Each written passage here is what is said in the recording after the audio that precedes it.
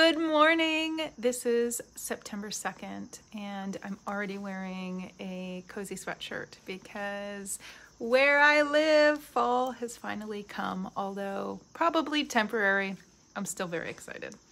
Um, I woke up to a cool, crisp morning and uh, was super excited. And I wanted to share with you some wisdom today that I was personally experiencing about talking to ourselves and our constant need to criticize ourselves. Have you ever done that? Probably. Do you ever look in the mirror and just look at the things that you don't like about yourself? Um, I do this a lot and I now that I'm more aware of it, I'm able to try to think my way through.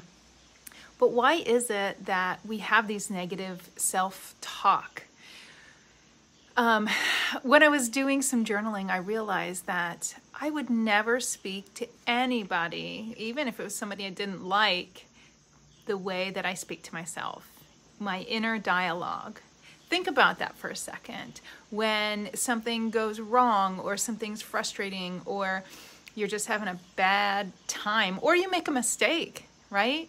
Um, you would never turn to a friend and say, you're so awful. You're terrible. You're stupid. Um, and time after time, when we consistently have this playing on a constant loop in our subconscious, it really influences the way that we feel about ourselves. And not only that, but how we treat ourselves, how we take care of ourselves, how we think about our bodies. Um, and our bodies are amazing at any stage. If if you're you're suffering with something right now and you don't feel your best, your body's still working to heal and it's still working to take care of you, to take care of itself and for survival. And we oftentimes forget that. We forget the connection between our food and what it's actually doing to support us, to give us energy, to help us sleep, to help us metabolize, and to help us absorb nutrients. We kind of take that for granted a lot.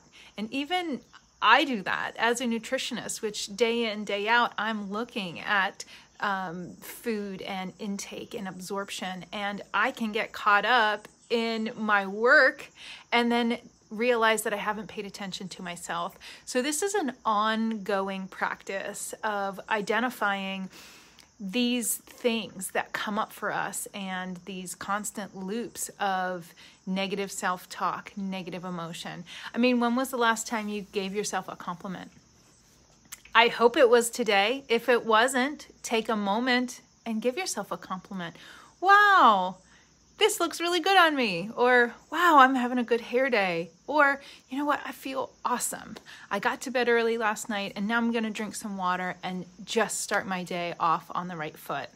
So I just wanted to give you that little tidbit this morning because it was really impactful for me when I was sitting here thinking about uh, how can I help people connect their intuition with their nutrition. And one of the ways is encouraging healthy dialogue with yourself.